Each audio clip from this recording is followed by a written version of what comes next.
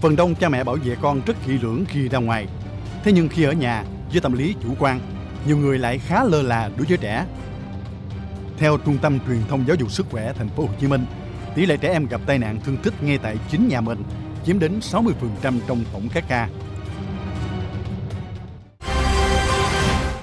Hàng hà sa số những tai nạn của trẻ nhỏ, nhưng tai nạn ngay tại nhà, ngay trước mắt mà chỉ vì chút bất cẩn để lại hậu quả mà người lớn dây dứt hết đời. Hãy cùng theo dõi những tình huống, cách xử lý và phòng tránh với những tai nạn trẻ em qua chương trình Góc nhìn đa chiều ngày hôm nay. Ngày 15 tháng 4 năm 2017, Bệnh viện Nhi Trung ương Hà Nội tiếp nhận một trường hợp bệnh nhi 1 tuổi rưỡi tên S nhập viện trong tình trạng nôn mửa dữ dội. Sau khi chụp X-quang, các bác sĩ cho biết cháu bé nuốt phải 13 viên bi 500 đồ chơi, đường kính mỗi viên khoảng 5mm, gây loét dạ dày. Vào cuối năm 2017, bé trai tên DK, 5 tuổi, ngụ tại tỉnh Long An, đã nhập viện do chấn thương sọ não vì ngã cầu thang trong lúc chơi đùa. Trước đó, bé N, 2 tuổi, ngụ tại quận Từ Liêm, Hà Nội, đã nhập viện trong tình trạng nguy kịch vì uống nhầm lọ thuốc nhỏ mũi bố mẹ đặt ở đầu giường.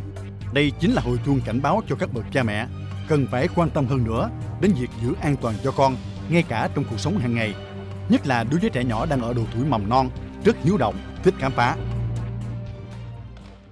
Rất nhiều trường hợp trẻ gặp tai nạn lại bắt nguồn từ sự bất cẩn của người lớn như các bình nước sôi, ly nước nóng để gần với tầm tay của trẻ. Trẻ chơi điện thoại được sạc nối tới ổ điện, trẻ bất cẩn chạm tay vào ổ điện. Mẹ đang nấu ăn nhưng có việc trời đi, trẻ chạy tới với tay lên nồi nước đang sôi. Hộp đựng dao kéo để ngay tầm tay trẻ, trẻ tò mò lấy dao ra chơi. Trẻ trèo lên thành bể nước chơi, bất cẩn đồ chơi rơi xuống nước, trẻ giới tay vớt thuốc uống của cha mẹ để không cẩn thận, trẻ thưởng kẹo nên lấy ăn. Như vào đầu năm 2017, Bệnh viện Di đồng Cần Thơ đã tiếp nhận bé trai tên K ngụ tại Hậu Giang. Trước đó, bé K thấy chai nước chứa dầu quả để trong nhà, tưởng là nước ngọt nên mở nắp uống. Dù được đưa đi cấp cứu, nhưng vì suy hô hấp nặng nên bé K đã không qua khỏi. Quan ngại hơn là những trường hợp khi trẻ gặp tai nạn, cha mẹ lại không biết cách sơ cứu ngay, dẫn đến trẻ lâm vào tình trạng nguy kịch. Đơn cử như sự việc của một bệnh nhi 17 tháng tuổi ngụ tại huyện Bình Chánh, thành phố Hồ Chí Minh. Bé nhập viện trong tình trạng ngừng thở, ngừng tim, hôn mê sâu. Trước đó do bé tự chơi mà không có sự trông coi của người lớn nên ngã chúi đầu vào xô nước sau nhà. Người nhà khi phát hiện đã quá hoảng loạn đưa bé đi bệnh viện ngay mà không làm các biện pháp sơ cứu ban đầu. Bé đã tử vong trước khi đến bệnh viện. Theo các bác sĩ tại bệnh viện Nhi đồng 1, nếu được sơ cứu ngay khi phát hiện thì bé đã có cơ hội sống. Qua trường hợp này, các bậc phụ huynh thêm một lần nữa được cảnh báo về nguy cơ của các loại đồ chơi, thức ăn có kích thước nhỏ, chất lỏng nguy hại để tràn lan và các bé thì vô tư nào biết gì. Còn người lớn nếu chẳng may gặp phải trường hợp đó sẽ xử lý cứu bé ra sao? Một vài thông tin xin chia sẻ.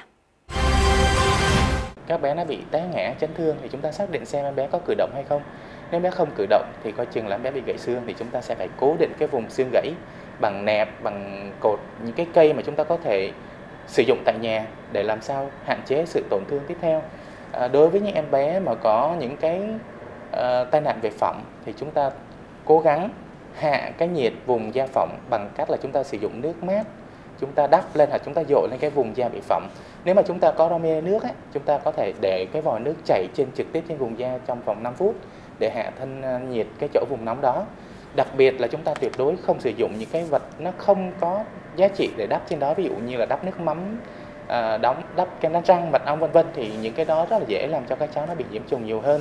À, đối với các cháu bị à, điện giật thì chúng ta cố gắng tìm cách ngắt nguồn điện và quan sát xem là em bé có bị ngưng tim ngưng thở hay không. Thì chúng ta nếu mà có ngưng tim ngưng thở thì chúng ta sẽ dùng sử dụng phương pháp hô hấp nhân tạo so tim ngoài lồng ngực. Và cái điều quan trọng là chúng ta sẽ đưa các cháu nhanh chóng đến cái cơ sở y tế gần nhất để được các bác sĩ tiếp theo có những cái biện pháp cấp cứu kịp thời.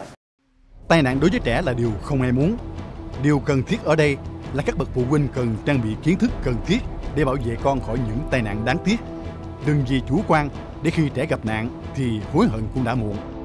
Những lưu ý an toàn cho trẻ tại nhà để những vật dụng như dao kéo, thuốc uống, bình đun, đồ dễ dở, hóa chất tẩy rửa tránh xa tầm tay của trẻ.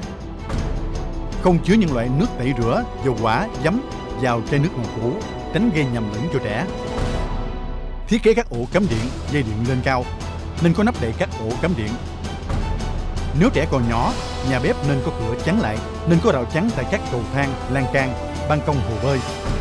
Không để trẻ ở nhà hay trong phòng một mình dù bất cứ trường hợp nào.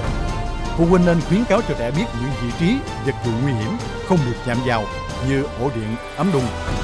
Nên trang bị những biện pháp sơ cứu cơ bản cho trẻ phòng khi gặp sự cố. Nói đến tai nạn trẻ em, quả thật không ai muốn nhắc đến, nhưng sự lơ là chủ quan của người lớn cũng là nguyên nhân tiếp tay cho tai nạn. Có thể qua góc nhìn đa chiều hôm nay, sự lơ là đó sẽ khiến cho nhiều người thức tỉnh hơn. Đến đây thời lượng dành cho chương trình cũng đã hết. Hẹn gặp lại quý vị trong chương trình kỳ sau. Cảm ơn đã quan tâm theo dõi. Kính chào tạm biệt.